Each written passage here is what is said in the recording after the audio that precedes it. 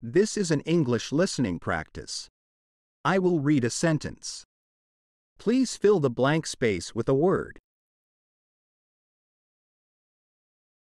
Again in the 13th century, the lure of the Levantine trade led Venice and Genoa to appropriate certain islands and promontories of Greece as commercial bases nearer to Asia.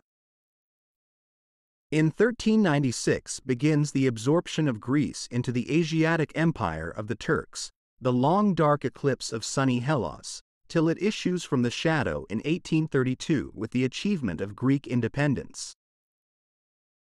If the factor is not one of geographical location, but a natural barrier, such as a mountain system or a desert, its effect is just as persistent.